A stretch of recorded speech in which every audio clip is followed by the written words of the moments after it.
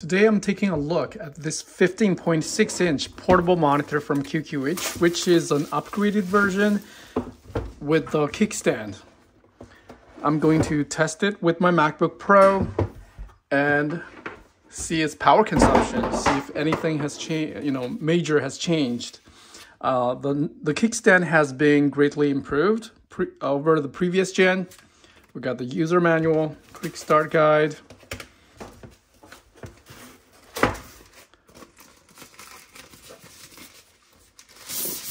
IPS screen with stereo speakers. This is the foldable kickstand.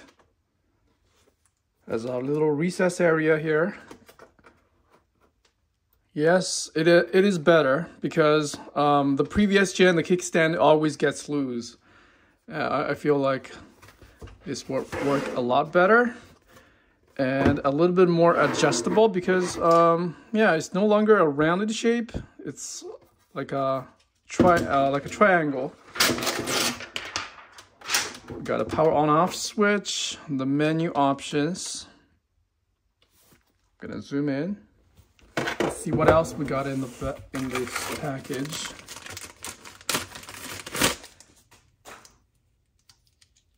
The HDMI full size to mini HDMI cable. So it can be used with Xbox, PlayStation, or Nintendo Switch. USB Type-C to Type-C cable. This is a data cable, so always keep this thing around uh, if you want to use it with the laptops. It can also be used as a power supply, but not every USB-C to C cable can be used with this monitor, or you have to make sure they're Thunderbolt 3 compatible, for example. USB type A to USB A cable. This is for, uh, for the power supply only. When you use one single USB-C connection to the laptop, you don't have to use this power supply cable. But if you do, then it will not drain the battery from the laptop as much. You will see in just a second. Okay, and a power brick. This is a USB type A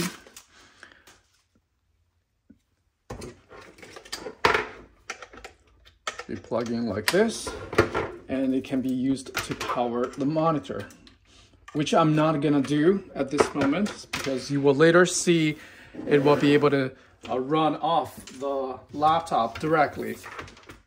Okay, it can also be used with a phone. With the i, I'll, I'll test it with my iPhone 15, for example. Okay, let's do this.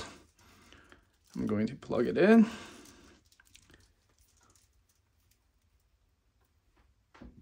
Well, I hate this kind of zip ties. It takes forever to, to take off. Okay.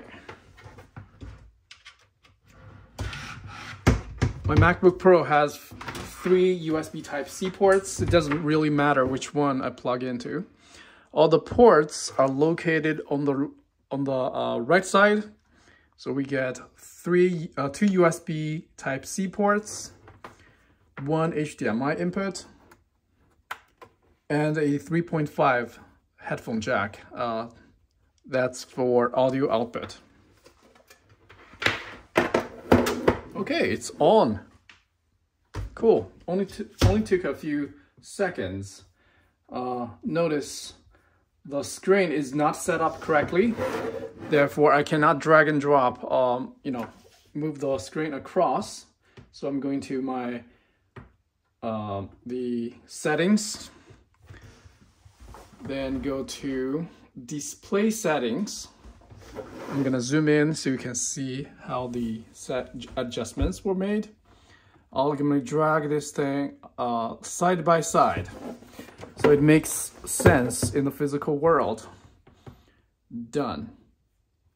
Then I can drag this window across here. Note the angle is adjustable. Well, this is so much better. I wish I have the um, previous gen here. Hold on, I'm gonna grab my previous gen here so you can see the improvement. So the previous gen kind of does this after a while, right? And obviously the angle is not really adjustable, especially when it's used in the vertical mode because it will just fall off if I want to increase the angle. So it, it's, it's more like a fixed angle like this. Okay, that's the previous gen. So with this one, you will be able to you know, use it in vertical mode a lot better since it can be just like this without falling off. Okay.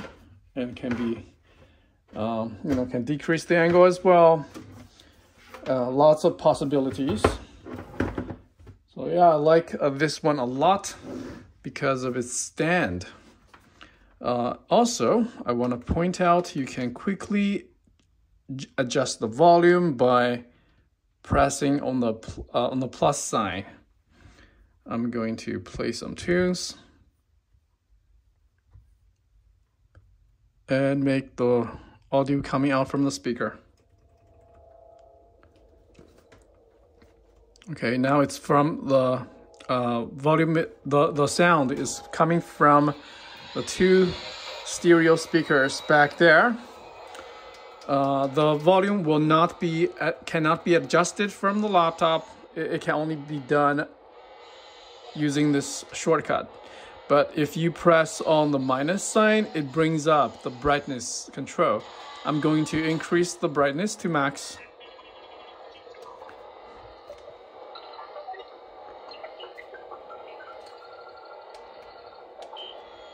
Or bring up the menu option. You can see the standard controls here. And um, the, there's a power on off switch, which also acts as the input selection. We can use the plus and minus to cycle through USB Type-C 1, 2, and HDMI.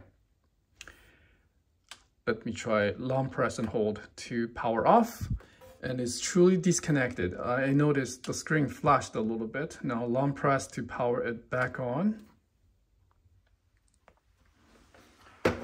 Okay, now let me connect the power supply as promised at the beginning of the video.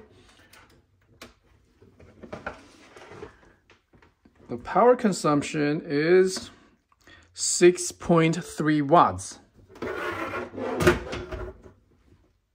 9.2 watts right now.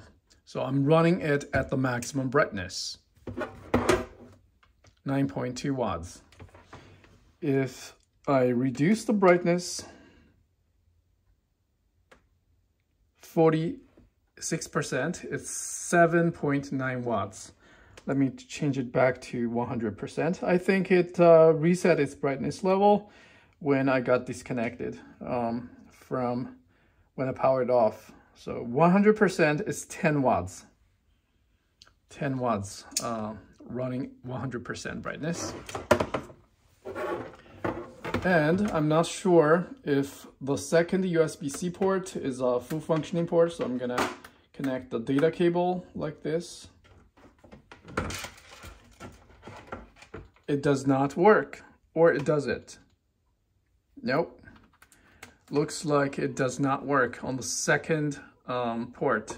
So yeah, it does, unless, well, you, I kind of have to connect to the power supply first for the second port to work, but it is a full functioning port. So anyway, if you are not using this cable with the laptop, then um, you have to use the power supply with the HDMI cable. So if you're using it with the Nintendo Switch, for example, you, then you have to supply power to this monitor because the HDMI cable will not be able to carry the power supply. Okay, last test, I would like to try my iPhone. See if this works. My iPhone 15. Looks like it will not power on. So I'm going to supply power. Oh, actually worked even without plugging in my USB type C input. Let's see that again. I didn't uh, wait. I didn't wait long enough for that to happen. Yeah, it's unstable, so I would recommend using the yeah, power cord as well because it's going to drain a lot of power from the phone, which as you can see, it blinks a little bit. So I think the power supply is, is insufficient. Have to supply power. Yep, that's good. Now you can use it like this or, and it's also recharges the phone. Uh, if I'm go, going to the YouTube, for example, let's play some uh, interesting video. Um, yeah, everything works. Well, well done.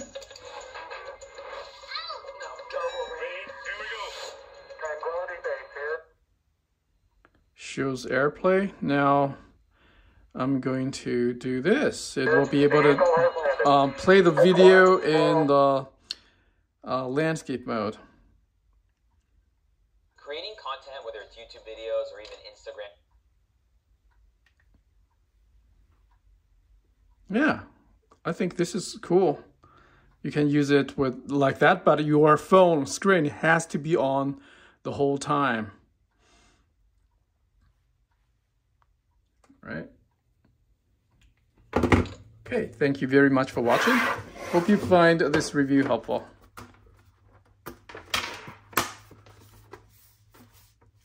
Think I'm gonna carry this thing with me when I travel thanks to its kickstand. I really like it.